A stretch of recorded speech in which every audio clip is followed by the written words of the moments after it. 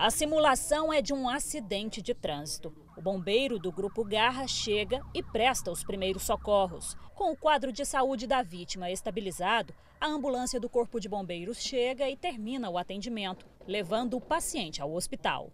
O objetivo do Garra é esse mesmo: atender vítimas de trânsito de uma forma mais rápida do que os demais tipos de salvamento. O uso da moto possibilita essa chegada com mais rapidez do militar até a vítima. Mas não é só isso.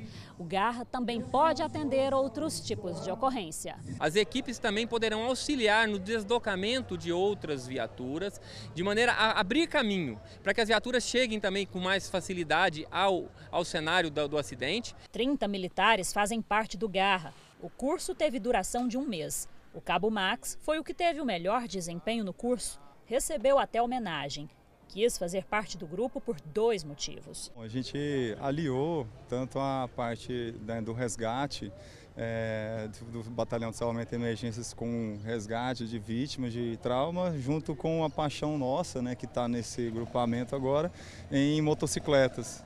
Algumas das motos que serão usadas no atendimento já existem no Corpo de Bombeiros.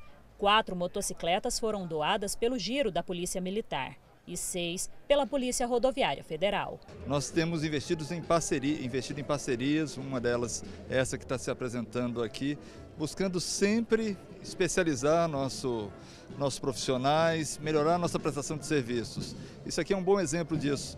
Tá? Todo mundo sabe que é, minutos e segundos de chegada do resgate pode fazer toda a diferença na vida de um acidentado. Por enquanto, Garra vai atuar em toda Goiânia e região metropolitana. O governo do estado não descarta a possibilidade de outras cidades de Goiás também receberem o serviço. Eu acredito que isso vem de acordo com a demanda. Né? A partir do momento que há uma demanda de trânsito, de atendimento mais rápido, surge essa, surge essa solução. Se houver essa demanda, fatalmente, com certeza, aplicaremos isso para onde for necessário.